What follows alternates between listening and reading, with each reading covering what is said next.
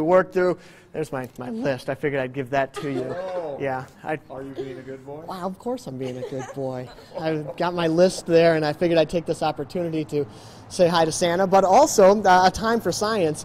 They got a good events coming up, uh, combining uh, with the holiday spirit, but also a little educational experience as well. Right. Um, we work hard out at a time for science to um, enhance environmental awareness and um, STEM education and literacy throughout Eastern North Carolina. But we also have some really cool things coming up on December 14th and December 21st. Excellent. What do you got going on? Well, Santa came here this morning to tell us about, well, for us to tell about his visit. Um, he will be out at a time for science to take pictures and visit with the kids. We're also going to have nature walks and crafts for the kids.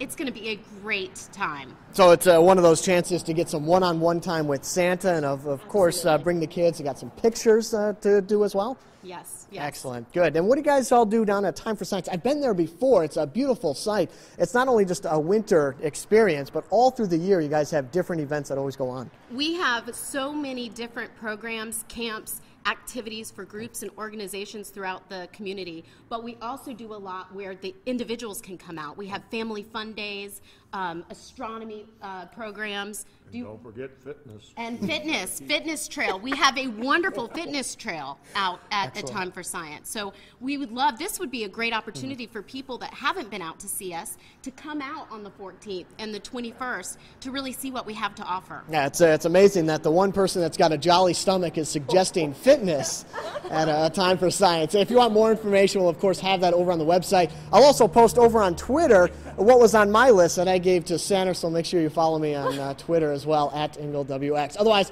we're going to head back in.